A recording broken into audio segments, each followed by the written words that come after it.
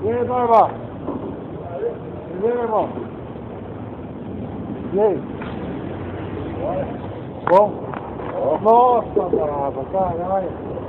Essa parada vai ser aí ou não? Ah, vai sacar, ó. Vai sacar, né? É Não deixa não, tá bom, cara? Você o barril. Pô, legal, né? Vai, eu saio direto, quer que Não, legal, hein, irmão?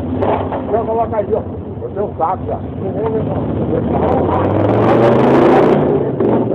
Tem saco, já. Beleza, cara. Eu saio direto. Direto Eu né? direto, eu direto. Ah, legal, Eu cara. gosto de pescar e mirar. Ó, só evita de estourar tubo de televisão aqui, ó. Mas não, eu não tô, não tô entendendo mesmo. Não, não, eu sei, eu sei, mas é. Porque às vezes os caras desconhecem. Os caras não sabem, tá ligado? Eles desconhecem o bagulho. É lógico. Beleza, irmão?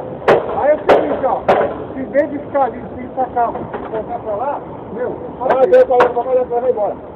Tá, ligado? Gente tá na calça do ambiente pra proteger o ambiente, né? Falou. Beleza? Falou.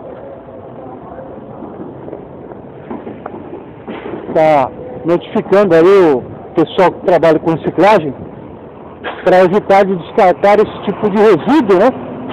Que é altamente lesivo no ambiente aí na mata ciliar do Córrego do Socaba. Eu preservei a imagem da, da pessoa aí, né? Até mesmo porque é,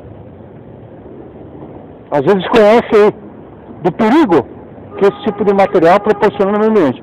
Ele falou para mim que é, são peças impressoras, né?